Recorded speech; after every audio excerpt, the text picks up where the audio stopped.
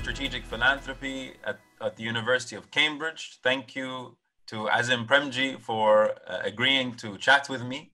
Uh, it's always great to learn from you, uh, to hear firsthand uh, your insights on the evolving role that philanthropy plays uh, in our social uh, and economic landscapes in India and, and more generally around the world.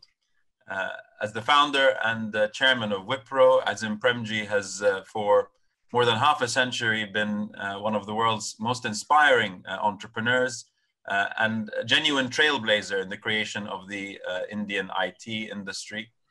Uh, at the turn of the century, uh, he established the Azim Premji Foundation, and within 10 years, the foundation was supporting more than 16,000 schools in more than 40 districts across India. 10 years ago or so, the, the new Azim Premji University was uh, created to provide uh, teaching programs in a wide range of fields related to human development, including health, uh, governance, uh, and sustainability. I've had the honor uh, of speaking with Azim on a few occasions and experiencing his thoughtfulness, generosity, and humility. Azimji, uh, your foundation has been on the front line of responding to the COVID-19 pandemic in, in India, uh, addressing urgent needs from healthcare and, and humanitarian perspectives.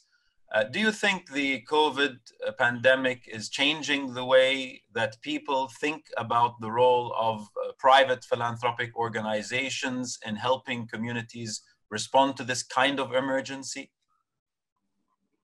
You know, we have been involved quite actively in helping tackle COVID 19 across the country on many fronts. This includes immediate humanitarian response and also long term support for revival of livelihoods. It also includes a comprehensive healthcare response. Testing is only one part of it. I don't think the pandemic, pandemic will have a lasting impact on how people think about private philanthropy. However, it will have significant impact on two crucial fronts. Uh, people appreciate now a lot more the importance of public systems. This includes not just the public healthcare system, but also systems that, uh, that emphasize social security, systems for data collection and research. Even if it is not clearly articulated, but even if it is not clearly articulated by many people, there is a greater acceptance now that we have to cooperate. We have to have a solid amount of solidarity. We cannot leave everyone to themselves, and it is possible that that may have an effect on philanthropy, which could be lasting.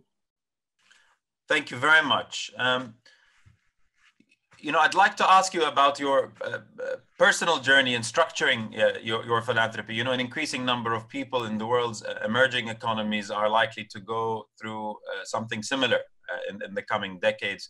How do you go about setting about your own foundation and working out where and how you could have the most impact as, as a philanthropist?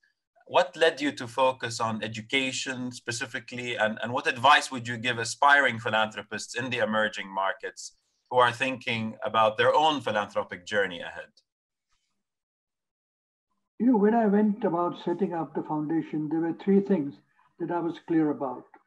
One that we must contribute towards developing a just equitable and humane society a society as envisioned in the constitution of india that for and and that for this we will discover various paths.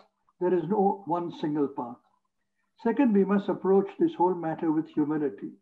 Mm-hmm. we were business people and i knew social issues were far more complex than business. So we went about knowing what that we went about listening to people and getting guided by the wisdom of many many people.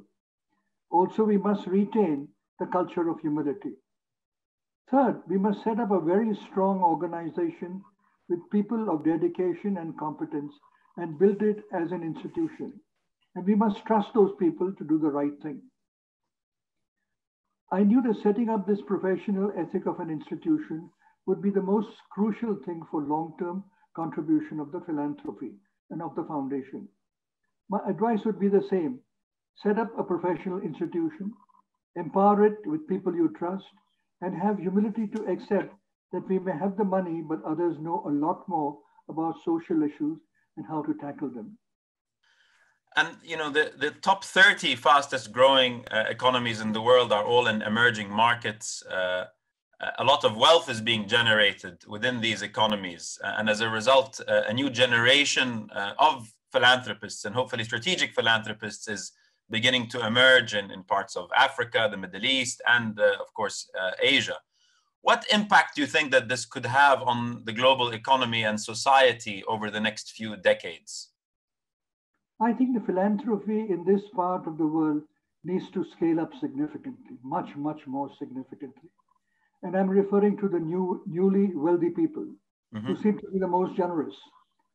Many of these countries have their own old traditions of philanthropy, and I'm not referring to that. You know, uh, of course, as you know, uh, India is obviously a country with very rich cultures and uh, vibrant social structures. Uh, how would you describe the culture of giving uh, and philanthropy in, in, in general uh, in the country? And how are attitudes to institutional philanthropy in India evolving over time? In my view, there are two kinds of long-standing cultures of philanthropy in India. First, the traditional giving of the business people back to their communities. Mm-hmm. This has been a very strong tradition, is not talked about adequately, because many of these people don't want to talk about their philanthropy. The size of this philanthropy may vary from very small to fairly significant, but it is a very strong culture. One of the issues I think is in, in, in I think is such people are very self-effacing and don't talk fancy language. They get satisfaction by what they do, not by publicizing it. Second is the large-scale philanthropy deeply committed to nation building. Starting in the early 20th century with the Tatas, the Sarabhais, the Jamnalal Bajaj, there was a significant philanthropy from big business which contributed both to the Indian independence movement and the building of institutions in the country. This was truly remarkable. All of us can see the effects of that even now. In India, given the wealth that has been generated over the past two, three decades, we could be doing a lot more in philanthropy.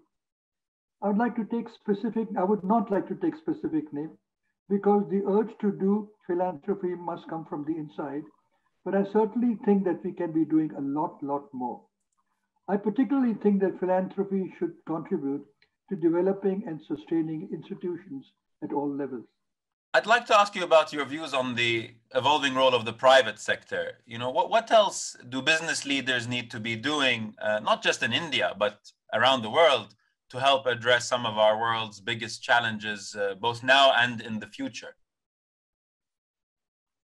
I don't think the business and private sector is doing enough, quite truly.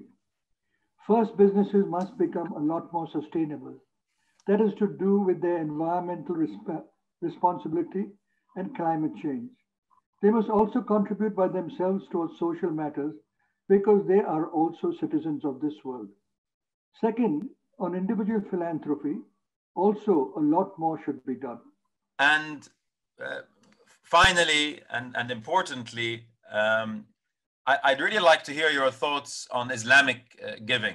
You know, as you know, sir, uh, anywhere between 400 billion to a trillion dollars a year is donated by Muslims around the world through zakat and sadaqah every single year. Yet one in three Muslims around the world live under the poverty line, which is staggering. Uh, how can we better harness the power of Islamic giving in a more strategic and coordinated way with a view to maximizing philanthropic impact? I'm not sure there's any simple answer to this question. I would just recommend that this money should go towards the most needy and it should go towards developing high quality institutions which have humility. Also, it would be good if the benefits of this giving is non-sectarian. Wisely said.